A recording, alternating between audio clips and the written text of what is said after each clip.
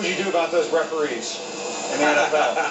I would, you, like, would you order them back to work? I'd sure like to see some uh, uh, some experienced referees uh, with NFL experience come back onto the NFL playing fields. Paul Ryan called those refs out today. Are you glad that he did that? That's just fine. Paul, was uh, very angry that the Green Bay Packers, he believed, won, and the referees took it away from them. All right, very good. All right. And uh, thanks very much for your time. We appreciate it. Thank you.